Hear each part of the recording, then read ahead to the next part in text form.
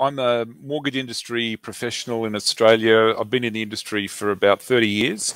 Um, over that time, I've realised that um, lots of people get into debt, and not many people um, have a plan to get out of debt. And hence, there is a bit of a debt pro problem in Australia. So I've developed a serv or built a service um, that's really designed to help people pay off their loan uh, more quickly. We, we, we had engaged a local provider. Um, I actually found that person through word of mouth as well. And we were three or four months over the due date, and we were really um, at a bit of a stalemate. I don't think they had the skills to build what we wanted to build. And um, short of a confession, it was it just came, became very clear to me that I needed a new provider. Hence the the, the conversation with with Haley first. Um, who, who said that you guys or the Surge team would have the have the skills and really quickly from a engagement perspective it was clear i found the, the, the right group um, in Surge in Sri Lanka. And um, I, I got to admit, I didn't have any hesitation at all or, or, reservations about dealing with a group that was overseas. Um, and I guess that probably had two, two things.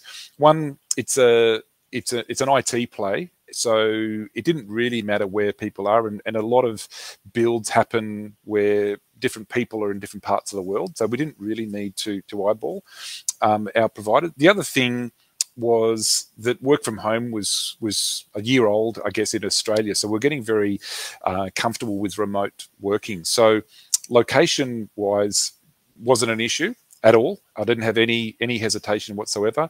Um, and I just was very comfortable with the, the people I was dealing with and doing these Zoom meetings, seeing them face to face, seeing seeing exactly who I was was dealing with.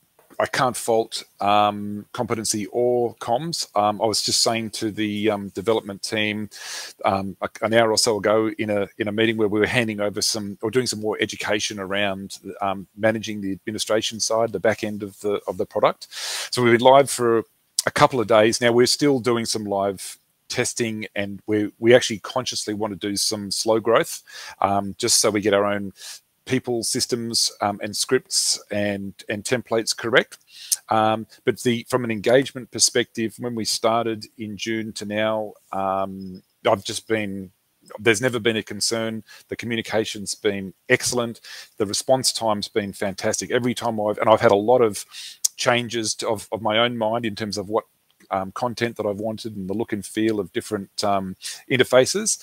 And the response time uh, and turnaround times have been well, I couldn't ask for any quicker, put it that way. I mean, almost instantaneous or overnight. I, would absolutely recommend Surge to to other people. Um, I'll certainly be using them again, and I hope that with our um, plans uh, come off and we start hitting the, the goals that, that we've set for ourselves, um, that we'll be re-engaging with Surge to build our business Mark II, Mark III, and, and beyond.